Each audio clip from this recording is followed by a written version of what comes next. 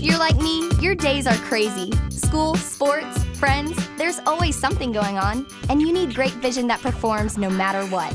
Lucky for you, your eye doctor prescribes SofLens daily disposable contact lenses. You wear them once and throw them away. There's no cleaning, no hassles. Plus, putting them on and taking them out is easy. And all that stuff you do during the day, it looks even better thanks to high definition optics. So, ready to get started? Before touching your lenses, wash your hands with soap. And don't use anything that smells perfumey.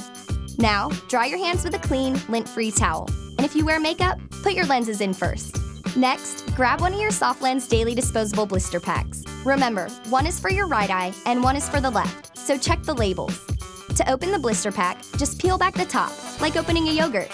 Look at the lens to make sure the edge is facing up and doesn't curl out. You're now ready to insert your lenses.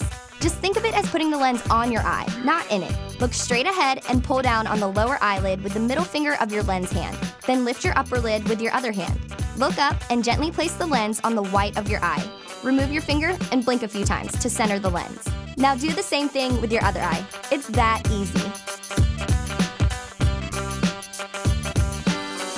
So you just finished another busy day, and it's time to take out your lenses. Just like before, wash your hands with soap and dry them with a lint-free towel.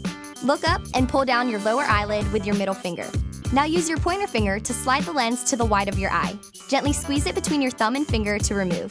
And now for the best part. Just throw them away. Now you know how to put on and take out your new SofLens daily disposable lenses. If you have any questions, ask your eye doctor.